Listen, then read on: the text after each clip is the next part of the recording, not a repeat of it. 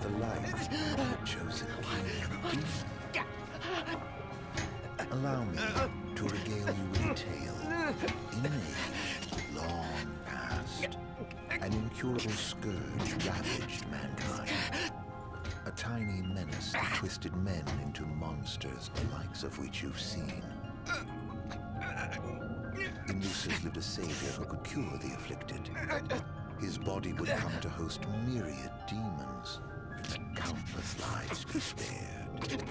But a jealous king, one chosen by the crystal, ostracized and demonized this healer of the people, making a true monster of him. I gave you my name earlier, but you should know that it was not given to me. Ardyn Lucis Caelum is my proper name. You'll never guess whose name this Neo was.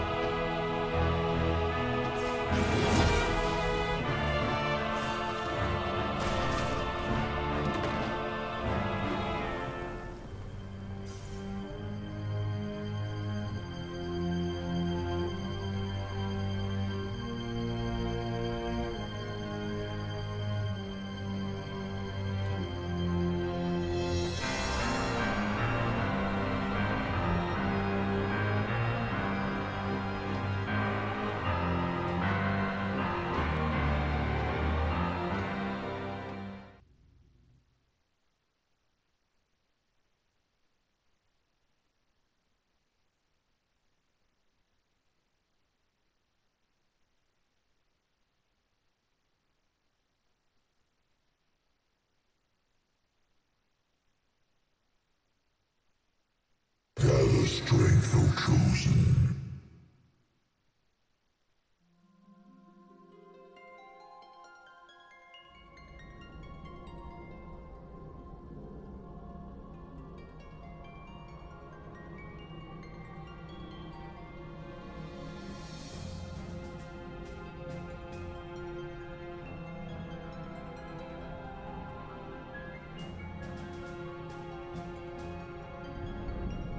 The fate of this world falls to the King of Kings. His providence consecrated in the divine light of the crystal.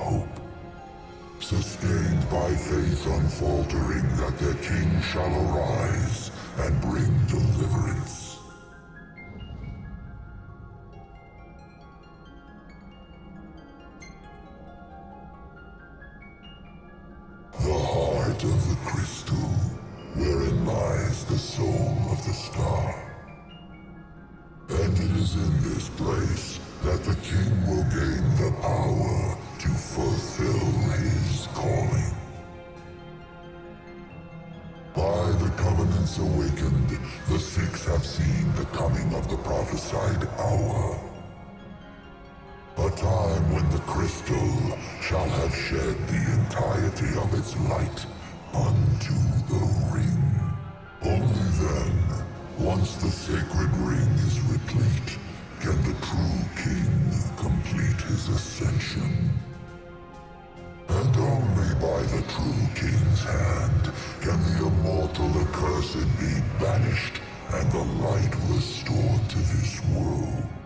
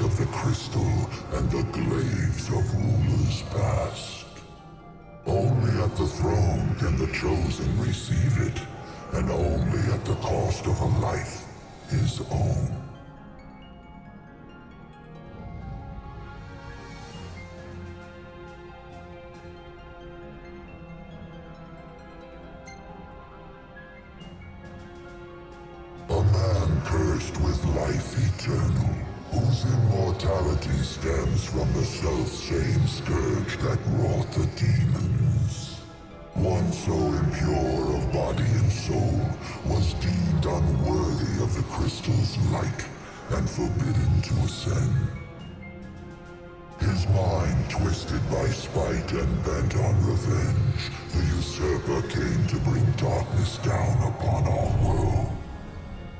Only the true king, chosen by the crystal and guarded by his forebears, can end the accursed's madness. The King of Kings shall be granted the power to banish the darkness, but the blood price must be paid. To cast out the usurper and usher in dawn's light will cost the life of the chosen. Many sacrificed all for the king, so must the king sacrifice himself for all. Now enter into reflection, let the light of providence shine within.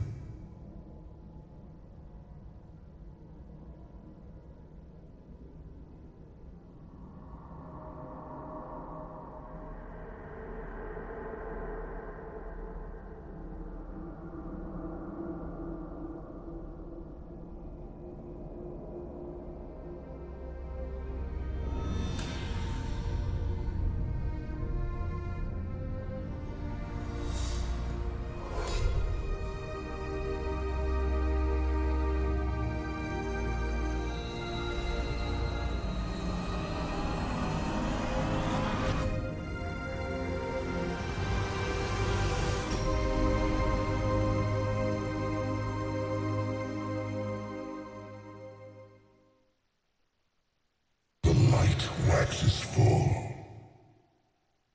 Go forth to the kingdom where the usurper awaits. Reclaim the throne and fulfill the calling of the true king.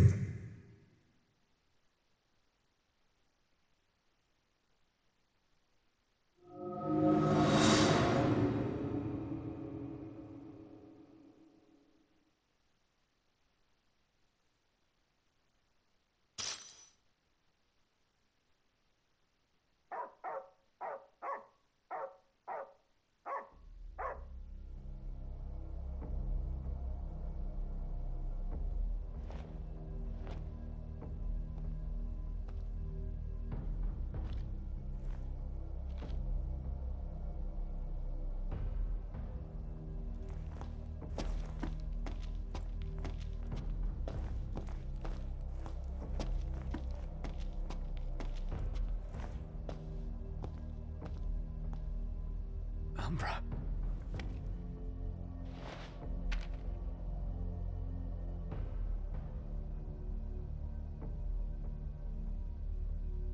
Be waiting.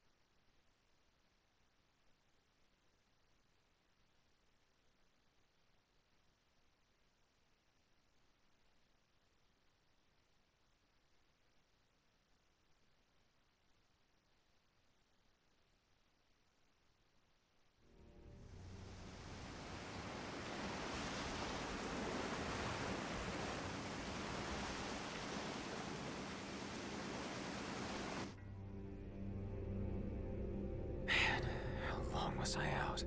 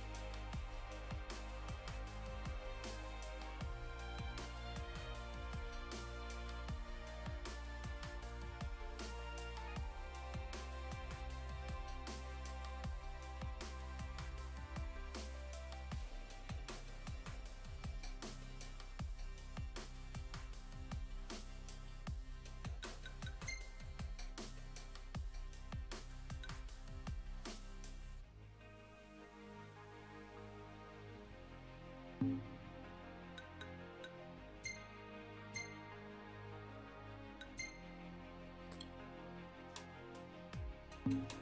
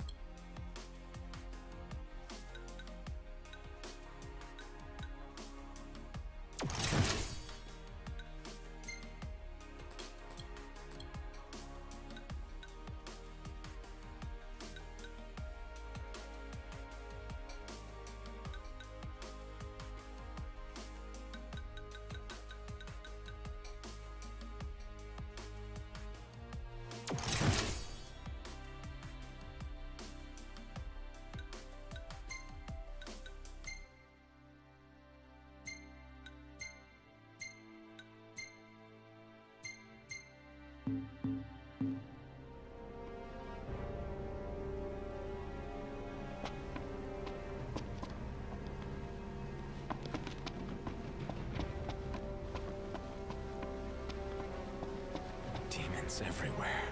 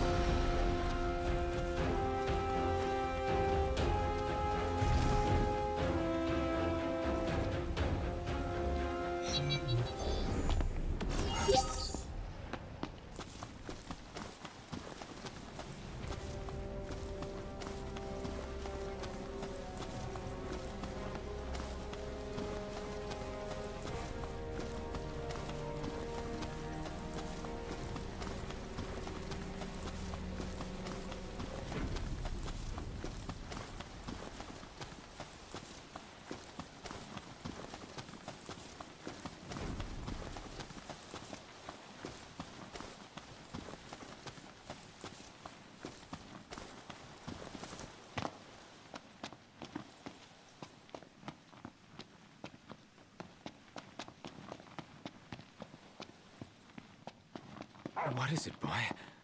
Something's coming.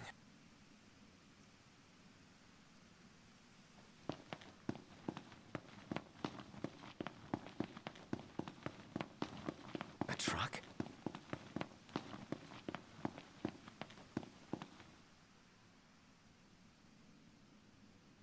Uh.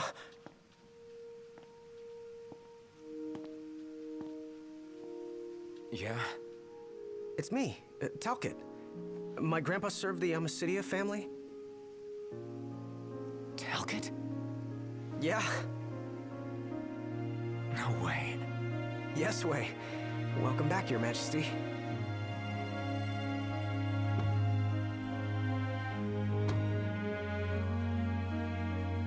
Yes, sir. That's that's right. Huh? Uh, just a second. Said he wants to have a word with you. He can have it in person. He said you can have it in person. Okay. Uh, we should be there shortly, sir.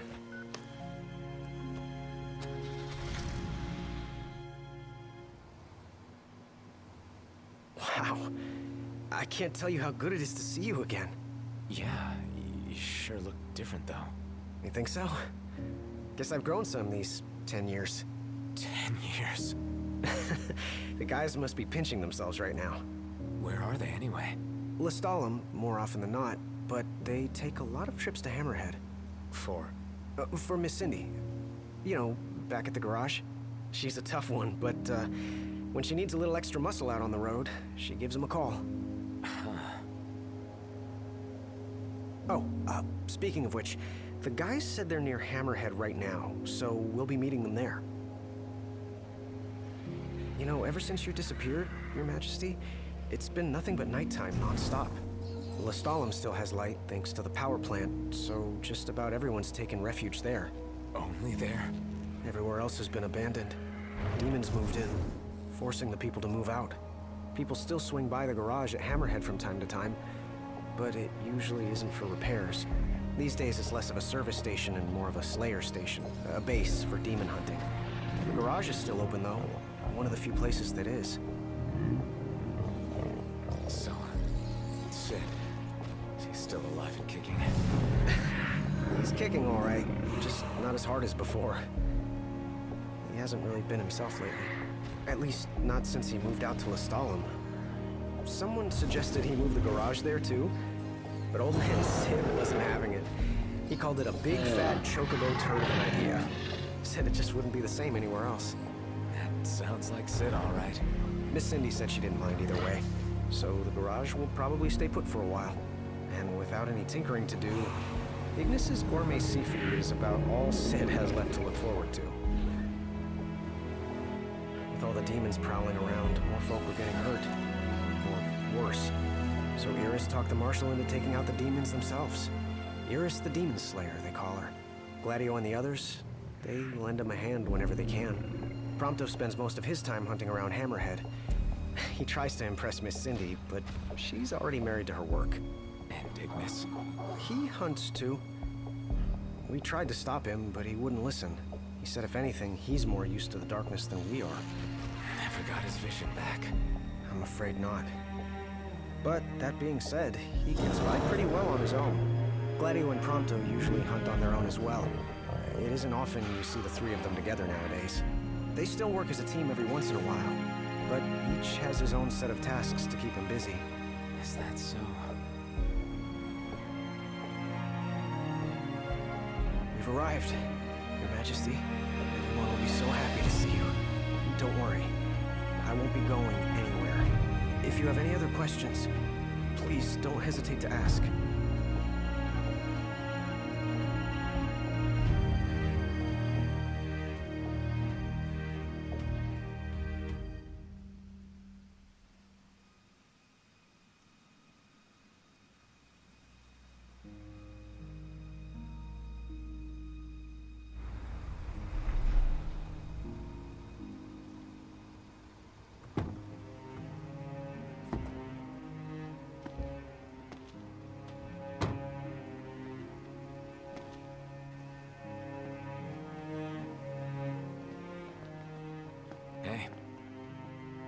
Hey, Hey? That's all you have to say for yourself after all this time? Noct! It's you! It's really Is you! it? I hadn't realized. well, well. You kept us waiting.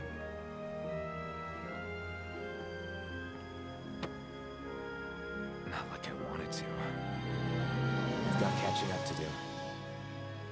Let's head inside.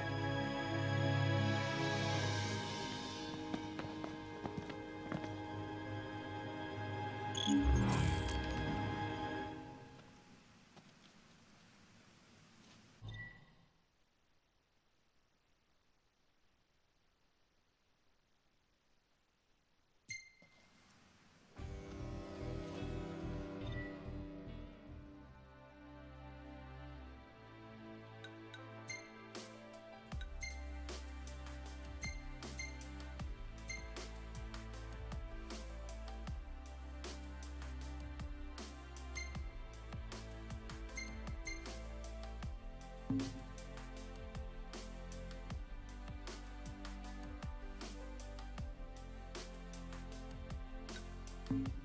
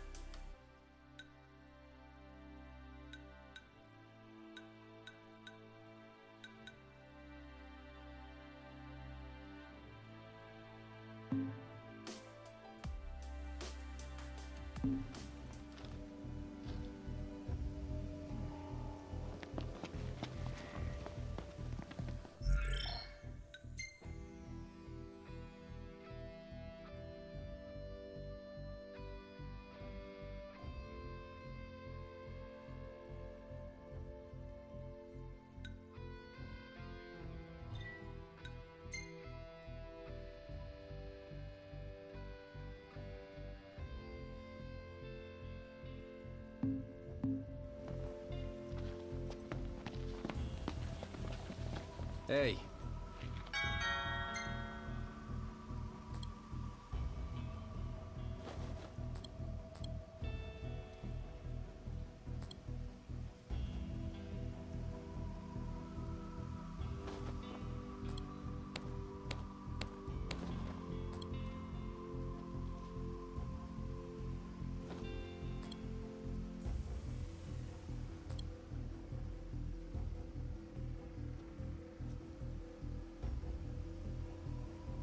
I'll see you later.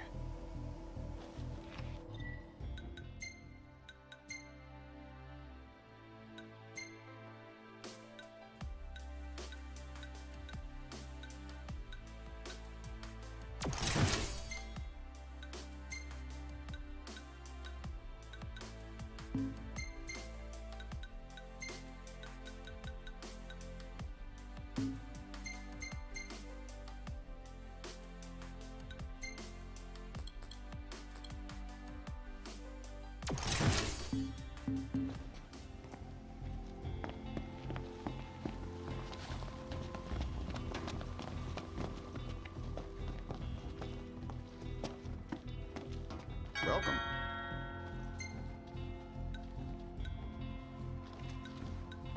Come again.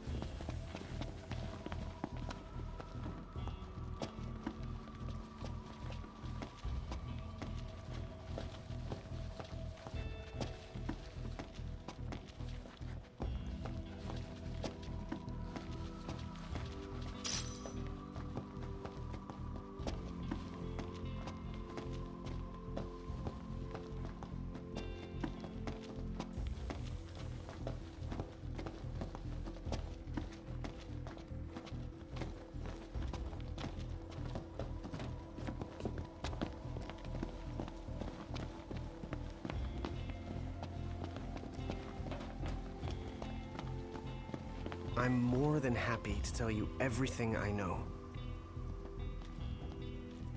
We've even got some former Imperials fighting for us. The toughest of them said she used to lead a band of mercenaries.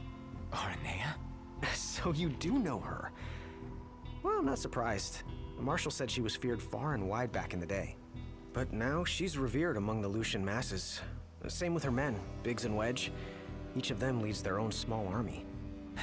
That's great. I'm more than happy to tell you. Oh, right. Uh, about the Empire. Huh. Gladio brought back word that both the Emperor and High Commander were dead. With those two gone, Niflheim pretty much fell apart. Yeah, figured. I'm more than happy to tell you everything I know. The Chancellor's still around, though. In Insomnia. Nobody who saw him had any clue what he might have been up to. Their stories piqued Ignis's curiosity. I ended up helping Ignis look into the matter, digging through old records, even joining him on trips to the royal tombs. Royally roped into it. it's cool. I'm a bit of a history buff myself. But we did discover something pretty weird. Huh? While we were poring over all those ancient texts, one name caught our eye Ardyn. Apparently, he was hailed as a savior, healing all those who were ravaged by demons. only to end up branded a demon himself. A dubious charge, I'd say. By all accounts, he was just as human as you and me. I'm more than happy to tell you everything I know.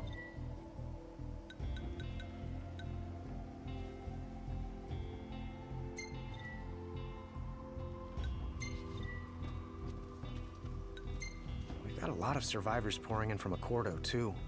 What with all the demon attacks there as of late? Not like it's much better here. Lestallum's practically overflowing with refugees from Insomnia. The Empire's recovery assistance fell by the wayside, and demons overran the city. Thankfully, Iris and the Marshal managed to evacuate the civilians. Now there's no one left, except the demons. I spent my childhood in the Crown City. It's sad knowing it's gone, you know? Not for long. I became the king to reclaim our home, and now I'm back, as promised. All these years and you remembered. You bet. I'm more than happy to tell you everything I know.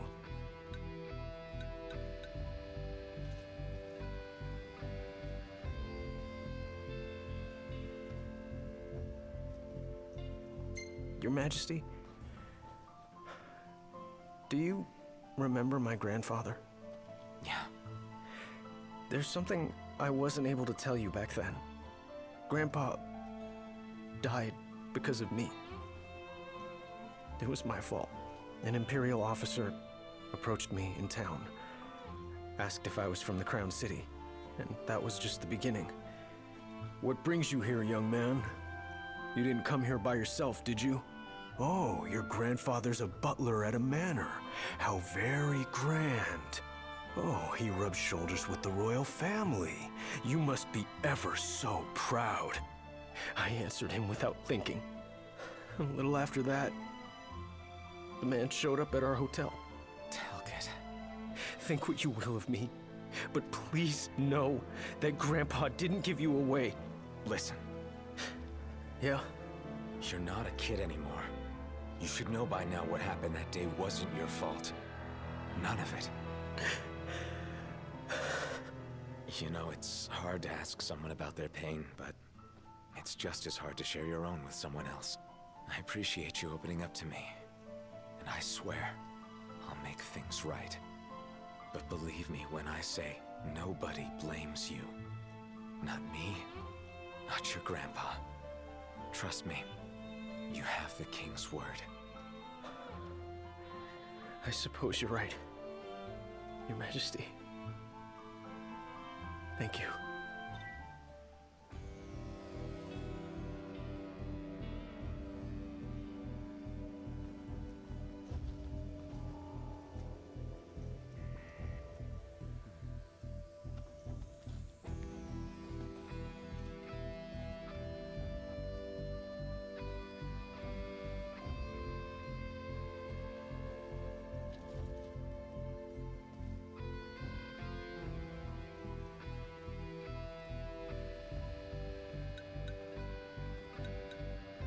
On the bright side, we've come a little closer to understanding the demons. And?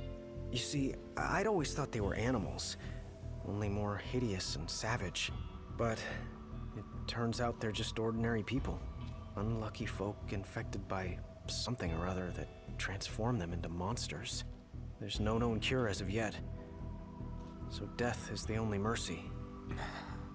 I'm more than happy to tell you everything. Safe travels, Your Majesty.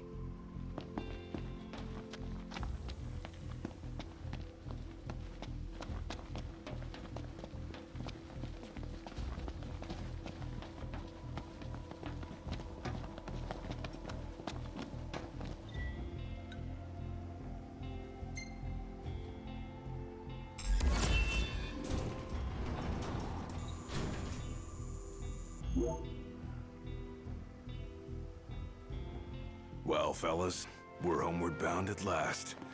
Time to suit up. Finally get to rock these threads. Wear them with pride. Yeah. Just hope they still fit.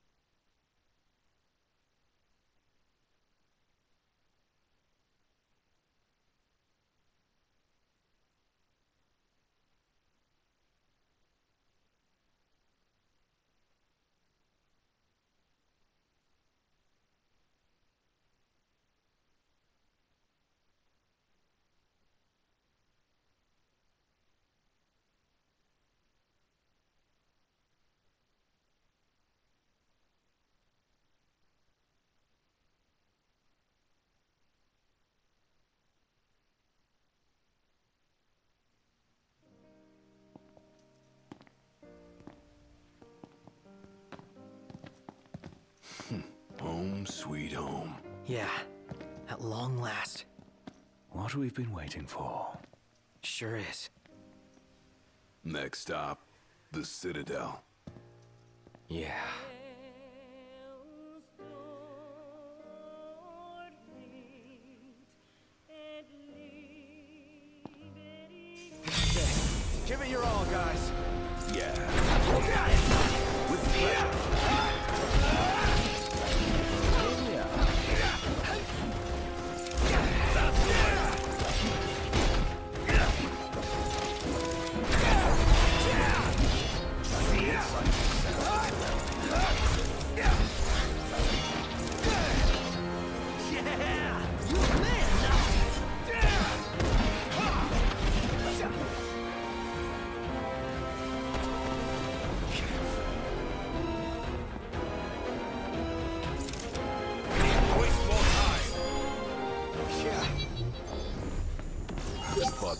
This in ages. Really takes you back, doesn't it? We may have struggled before, but now nothing can stand in our way.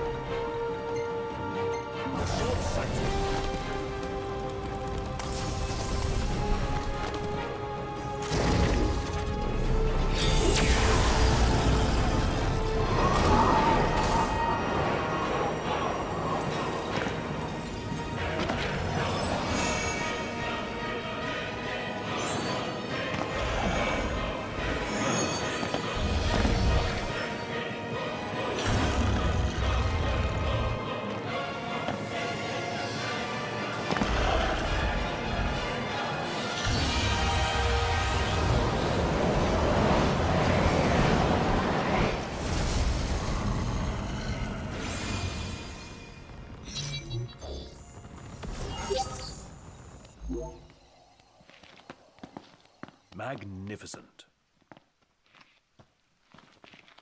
Guess we've still got a little fight left in us. You say that like we've already peaked. Yeah, we haven't even reached our prime. Huh. Guess you're right.